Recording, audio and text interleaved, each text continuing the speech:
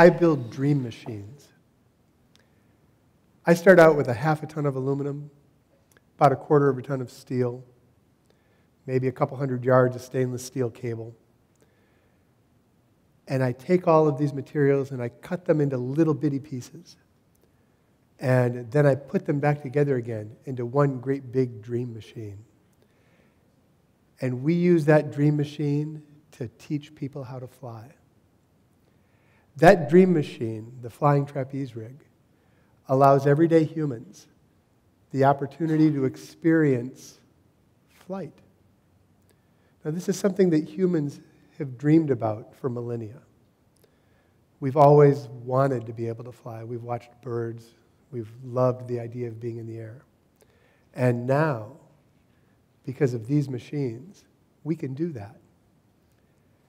Now, many people, when they see a flying trapeze rig for the first time, the first thing that comes to mind is the stories that we've been told since we were young that the people that fly in the flying trapeze are daring and death defying, and that the tricks are dangerous. And there's some element of that that might be true. But what I do with my dream machines is I build a safe place for people to experience flying on the flying trapeze. Now, the flying trapeze was originally built by Jules Leotard in 1859 in France. And over the years since, people have been flying and swinging and learning to do new tricks on the trapeze. What we do with my team of people is we teach people of all ages, from 6 to 80, how to do simple tricks and how to do complex tricks on the flying trapeze. Now, everybody that flies on the flying trapeze has a little bit different experience. I have to say that when I first saw flying trapeze, I was mesmerized. I've always liked climbing on things, and I've always liked jumping off of things. And it seemed like a natural extension of that. My mom tells a story about when I was about 20 months old. She didn't hear me. That was not a good thing. She went looking for me and she found me climbing up the banister on the outside of the staircase in the hallway. And I was up to the top and I was looking down and having a lovely time. And she screamed and I kind of freaked out and I fell down and bounced off the hutch and then landed in a pile of boots. So I wasn't hurt really. And I got up and started to do it again. She wasn't very keen on that. So since then, I've climbed and jumped on everything that I can. And when I first found the flying trapeze rig, that became the thing for me. Now, what we do here is we teach everybody how to fly on the flying trapeze rig that way. So typically, you'll feel you'll, you'll start your first experience on the flying trapeze rig by walking up to the ladder. And you'll put your hands on the ladder and you'll climb up and you'll find yourself two and a half stories above the ground. And you'll look down at the ground and you'll see the net and then the ground down beyond it.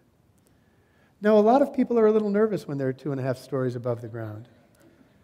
And that's understandable.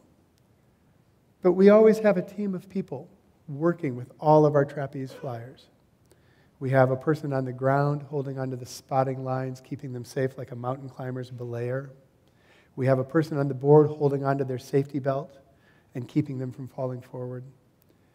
The whole team's job is to keep people safe while they're learning to fly on the trapeze. So after you look down, you take a breath, or maybe several, and then you look out down the trapeze rig, and you'll see the catch trap, the second trapeze, way out at the end of the rig, where the catcher flies later on. You'll see the trapeze bar in front of you. And the person who's holding your belt, keeping you on the trapeze board, on the pedestal board, they'll ask you to reach out a hand and hold on to that trapeze bar. Now, the trapeze bar is about three feet long, weighs about 12 pounds. Not very big or very heavy. But when you're standing 25 feet off the ground and you reach out for it, it feels like it's a mile away the first time. And there's a person holding your safety belt and calming you and telling you that you can reach out and hold that bar. And then they'll have you put the other hand, your free hand, on the bar so that you have both hands on the flying trapeze bar. And they'll look at you and they'll say, Are you ready? And you'll say, Yes, I've been dreaming of this my whole life. Sometimes. And you'll take a breath and you'll step off into space. John Burroughs, a 19th century naturalist, said, Leap and the net will appear. He may have seen Leotard, actually. He was talking about the idea of having faith in yourself, about believing in your own abilities, about the support of your community. When you take that first step off the pedestal board and you're flying through the air, you feel gravity in a way you may have never experienced it before. As you swing down through the bottom of the swing, you're approaching nearly two G's of force on your body. You feel it in your shoulders, you feel it in your hands. You're not sure if you can hold on, actually. You can feel your heart beating a lot. Then you swing up in the front of the swing. And as you swing towards the front of the swing, an amazing thing happens. As you get towards the top, to that point in time where you're not going up or coming down, where you're at the very end of the swing, you're weightless. And in that weightless moment, all of the fears that you've been carrying, all of the things you've been worrying about fall away. And you're flying. And then you drop back down again. And you feel the swing backwards. And you want the freedom again of, of floating in the air. And you get it at the back of the swing. Because at this point in time, you're like the pendulum on a grandfather clock. You swing back and forth.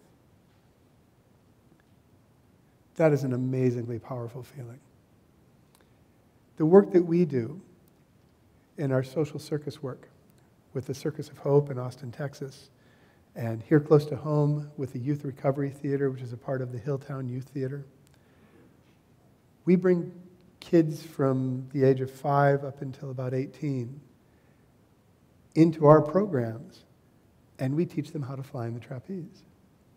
So we put them into an environment where all of the people present on the trapeze team, the person pulling lines, the catcher, the person on the board helping them take off, everybody's only goal is to help them succeed. Now, for some of our kids, that's not something they've experienced very often.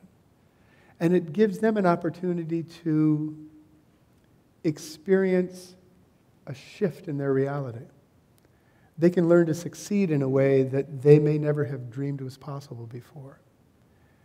And that change, giving them the opportunity to fly, changes their self perspective.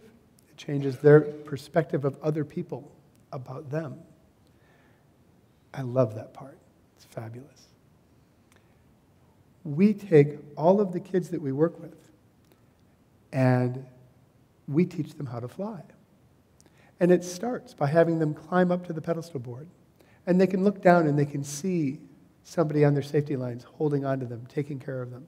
They can feel the person holding their belt, helping them get ready to fly. And then they take off. And you see them swing through the air, and you see the joy in their faces. Usually joy, sometimes fear, mostly joy. And they swing through the air. And we're trying to usually get them to learn to do a knee hang, a simple trick. Many of us have hung upside down by our knees on the playground off of something. It's a little different 25 feet in the air, but it's not much different. Same idea. They swing through the air. We have them put their legs up on the trapeze bar. And they look forward to where the catcher will be later. And they expand their world a little bit more because they've learned that they can do a thing even when they're afraid. They've learned that they can do a thing with the support of their group and with the team and with everybody around them. We have them reach out, practicing to be caught, even when we're not getting caught, reaching out towards the future, reaching out towards where the catcher will be later. And in each of these swings and all of this, we're building up to the point in time where we can make a choice as a group to work together and get caught. Now, sometimes getting caught on the flying trapeze is very close. Other times it's a little bit further away. But when you've worked with the group and you swing across to the catcher, and the catcher's only goal in life at that moment is to reach out and take your hands and bring you across. That kind of support and that kind of environment is wonderful. Now, once we've caught people, actually, whether you get caught or not, all of the swings that you have, all of the swings that you take, end with a drop to the net. Now, our team works to build a net of safety and inclusion and emotional support for our students. We have the physical net, of course, we've seen the picture of that, but it's not the only net that we have. The net that we build as a group, the support that we build as a group, allows our students to express themselves in ways that they may have never dreamed possible because they know that we believe in them and we help them believe in themselves. Now, one of the ways we use my trapeze rig to express ourselves is this uh, we use it as a prop piece in our shows. Last year, we decided to do a show based on the story of Peter Pan. So we dressed up my trapeze rig as a pirate ship.